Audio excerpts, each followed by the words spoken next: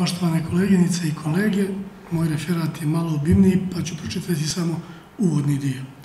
Književnik kanon Vladimir Biti određuje kao skupinu književnih dijela koje je akademska institucija propisala središnju važnost za određenu kulturnu zajednicu. U tom značenju, proviđenom podjednako estetičkim i ideologijskim konotacijama, kanon ulazi u suvremenu književno-teorijsku raspravu. Nastojećemo na ovom radu kažemo na uslove oblikovanja kanona crnogorske usmene književnosti u proteklih pola vijeka, te ukažemo na korpus koji pripada najstarijem sloju zabilježenih usmeno-književnih tekstova s crnogorskog prostora, čije se publikovanje, vjerujemo, čije će publikovanje, vjerujemo, doprinijeti procesu redefinisanja kanona crnogorske usmene književnosti.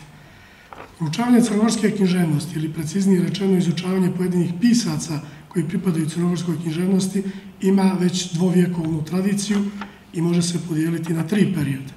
Prvi period čini početke književne montenegristike od pojave prvih tekstova u pojedinim, o pojedinim autorima i dijelovima, dijelima početkom 19. vijeka do druge decenije 20. vijeka.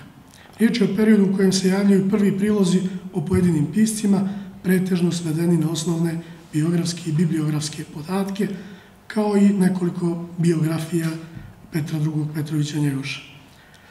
Drugi period koji traje od 1918. do 1968. karakteriše pozitivistički pristup proučavanju crnogorske književnosti, pri čemu se taj entitet još uvijek ne tretira kao samostalna cijelina, već u sklopu širih literarnih i kulturnih tradicija. Srpske, hrvatske, srpsko-hrvatske, srpsko-hrvatsko-slovenačke, jugoslovenske i postoji i druge neke nominacije. Treći period u razvoju književne montenegristike počinje u 1968. i traje do u naše dane.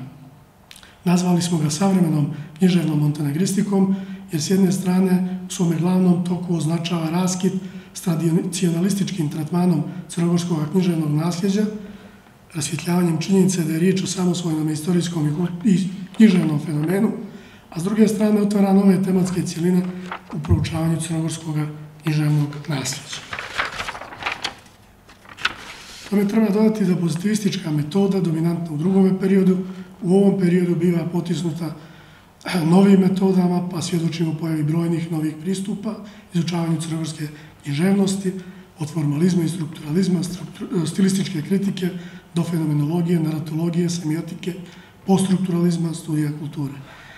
Godina 1968. predstavlja prekretnicu u tretmanu nacionalne književnosti, budući da je te godine u ondašnjem Titogradu održan naučni skup Crnogorska kultura i putevi njenog razvoja, na kojem je Radoje Radojević u diskusiji iznio osnovne premise crnogorske kritičke humanistike. Citiram. Kategorički odbijam ne samo ovdje, nego bilo gdje, da raspravljamo o tome da li postoji crnogorska nacija i nacionalna kultura. Isto tako odbacujem kao nenaučne špekulacije sa nacionalnim osobenostima, individualnostima i sličnim terminološkim zaobilaženjima pomoću kojim se želi produžiti tretman crnogorske nacije i crnogorske kulture u skladu sa starim nacionalističkim i hegemonističkim interesima pojedinih društvenih grupacija u Jugoslaviji.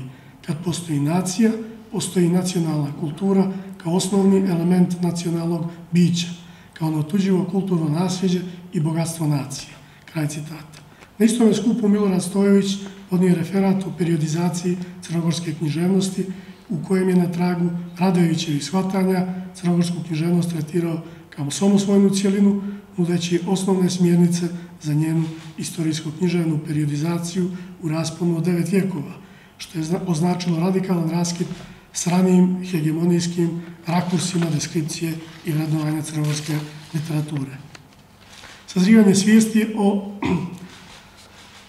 preko hiljadugodišnje tradicije crnogorske književnosti i njenom nacionalnom karakteru dovelo do pojave izdanja koja su sistematizovala saznanje o tome fenomenu ili pojedinim njegovim dijelovima, poput sedmotomne hrestomatije Slobodana Kalezića, crnogorska književnost u književnoj kritici, monografije Vojislava Pnikčevića, istorije crnogorske književnosti od početaka pismenosti do 13. vijeka ili sinteze Sofije Kalezić, istorije crnogorske književnosti za djecu i omladinu.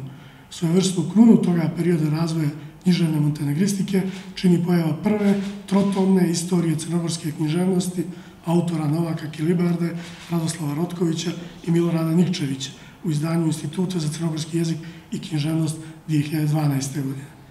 Proces novog određenja crnogorske književnosti na izvjestan način najavljen je još 1963. godine pokretanjem antologije Luča, grafičkog zavoda iz Titograda, koja će od 76. godine dobiti i podnaslov Antologije crnogorske književnosti. Od 71. knjige koja je objavljena u toj prestižnoj ediciji od 1963. do 87. njih 12 bile su posvećene crnogorskom usmenom književnom nasljeđu. I dok su početne knjige te edicije crnogorsku usmenu književnost i dalje tretirale kao regionalni fenomen, izbjegavajući da tom nasljeđu nađenu atribut crnogorska, pa otud naslovi epska narodna poezija Crne Gore ili lirska narodna poezija Crne Gore, već od 1967. i pojave antologije Crnogorske anegdote Radoslava Medenice, pridjev Crnogorski odomaćit će se naslovima antologijskih izbora pojedinih uzmenoknjiževnih žanrova objavljenih u Luči. Izvan te edicije, ali takođe u izdanju Grafičkog zavoda 1970. publikovana je antologija Radovana Zogovića, crnogorske epske pjesme raznih vremena. Već u uvodnom dijelu opsežne studije, štampane kao predgovor antologije, Zogović definiše što, što razumije pod pojmom crnogorske epike i razrađuje kriterije na osnovu kojih je moguće odrediti pripadnost nacionalnim kulturama pojedinih pjesama. Zogovićeva antologija naišla na neodobravanje dijela stručne javnosti upravo zbog njegova postupka izdvajanja crnogorskog usmenog eposa iz cijeline takozvane srpsko-hrvatske narodne epike. Zanimljivo je da je autor koji je prvi negativno ocijenio antologiju, profesor Novak Elibarda, četiri decenije kasnije napisao prvu istoriju crnogorske usmene književnosti, koja počiva na principima što ih je u predgovoru svoje antologije postulirao Radovan Zogović. Ako bi se osvrt obrt u tretmanu crnogorskog književnog nasljeđa koji u književnoj montenegristici nastao nakon 68. mogao definisati sintagmom od periferije ka centru, kad je riječ o kanonu usmene književnosti, svaćenom kao reprezentativni, institucionalno verifikovani izbor tekstova, moglo bi se reći da u Crnoj Gori s promjenom društveno-političkih okolnosti nije došlo ni do kakvih promjena. To se prije svega odnosi na onaj dio naše usmene književnosti koji je tradicionalno bio u centru interesovanja naučne zajednice, usmenu poeziju i osobito usmenu deseteračku epiku. Duga šena Vuka Stefanovića Karadžića, nesunjivo najznačajnijeg sakupljača i redaktora južnoslovenske usmene književnosti, obilježit će sve antologijske izbore crnogorske usmene epike od one Vukomana Đakovića iz 1953. do posljednje Momira Markovića iz 2014. Dominacija sadržaja koje je publikovao Vuk Stefanović Karadžić primjetna je u crnogorskim osnovnoškolskim i srednjoškolskim programima. Monografija profesora Novaka Kilibarda, usmena književnost, e, takođe u prvome redu sve sređena na korpus usmene književnosti koju je obznanje Vuk Karadžić. Bez namjere da problematizujemo kanon crnogorske usmene književnosti i dijelo Vuka Stefanovića Karadžića, ovdje ćemo ukazati na jedan da kažemo, zanimljiv fenomen. Naime, u Crnoj Gori antologije su počele da se rade, prijeno je dobar dio građe je publikovan. Taj postupak doveo do sužavanja korpusa tekstova na osnovu kojih, koga je trebalo formulisati književni kanon, a istovremeno doveo do situacije da je književni kanon oblikovan u nekim drugim kulturno-istorijskim prilikama ostao imun na ideološke i estetičke konotacije našeg doba. Time je zanemaren primjera radi ogromni sakupljački trud Vuka Vrčevića, veliki dio usmene književnosti rasut izvan Karadžićevih zbornika ostao gotovo nepoznat i stručnoj, a kamoli laičkoj javnosti, a posebno prve južnoslovenske usmenoknjiževne pjesmarice iz Boke. U ovom radu, kratkom pregledu, to ćete naravno moći pročitati u zborniku, predstavit ćemo rezultate višegodišnjeg arhivskog rada, koji sam obavio u arhivu Hazu, arhivu Baltazara Bogišića u Cartatu i crkvenim arhivima u Boki, zajedno sa kolegom Adnanom Čirgićem, e, i koji je, da kažem, pokazao da je to nasljeđe, predvukovsko nasljeđe i tekako bogato. Naime, u toku tog, tih istraživanja detektovali smo 17 zbornika, od kojih je svega nekoliko njih bilo može slobodno reći, uzgredno pomenuto u literaturi, 17 dakle, zbornika uh, usmene književnosti, nastalih u Boki Kotorskoj od kraja 17. do 30. godina uh, 19. vijeka.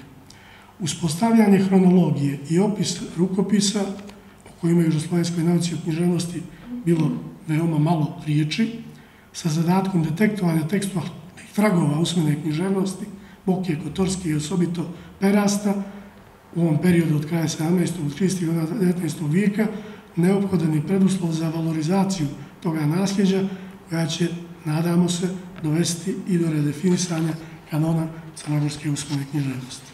Hvala na pažnju.